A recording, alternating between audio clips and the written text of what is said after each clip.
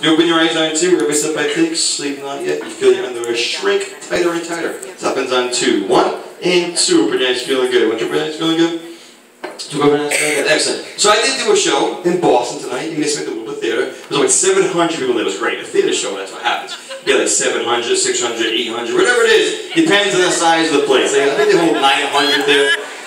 But 700 is a good number. I had like 60 volunteers, but how the volunteers? No one passed my test. And really, it's tough tonight. I don't understand why, but no one passed my test over here. Turn around, Kenny. Sit down. How you doing? Sit down. Hurt yourself.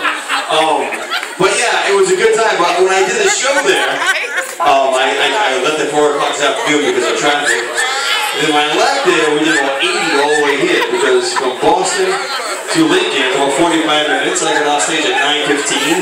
It hit 10 o'clock. Frank went on, did his thing, kicked ass, and I go on trying to make you laugh, and that's how it goes.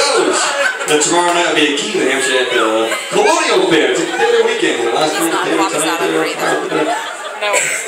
What's the matter? Get off the chair, man. Sit down, Kenny. What's the matter? What's the matter? Look at that guy. He has his hands up his pants. What's, that's, how am I doing that? You gotta stop walking. Jog. You okay, man? Anyway?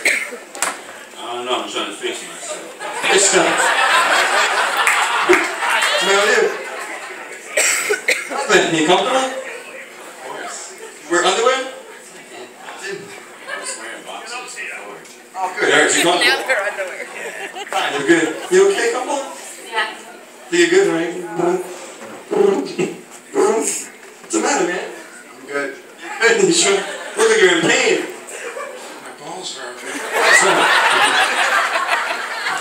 Gotta rub his balls later on tonight, okay? Give this a couple minute cold one for him. Alright. And sleep. Sleep. Very good.